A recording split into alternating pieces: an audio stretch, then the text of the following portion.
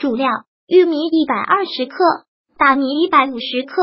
辅料：水两千毫升。准备时间：三十分钟到一小时。制作时间：三十分钟到一小时。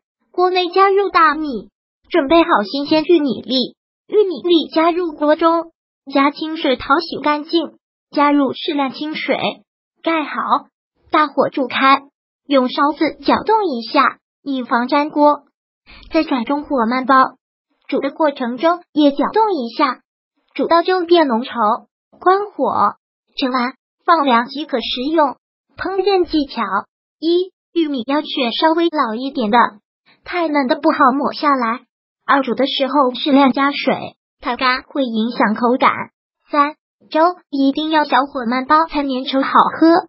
如果喜欢本视频，请分享并订阅本频道，访问 T T News 点 X Y Z 获取更多相关资讯。